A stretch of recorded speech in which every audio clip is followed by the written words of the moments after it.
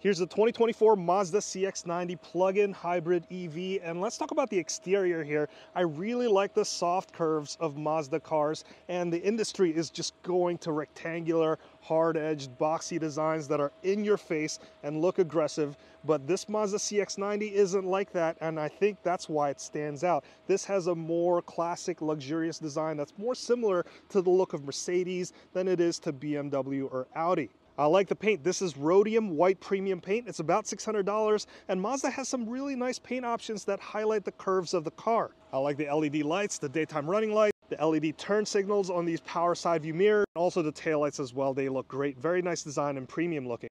I like that the B and the C pillars are blacked out, giving it a singular window look, very sleek. The only thing I don't like is the amount of chrome everywhere on the front and on the sides as well. Let me know what you think of the look of the CX-90.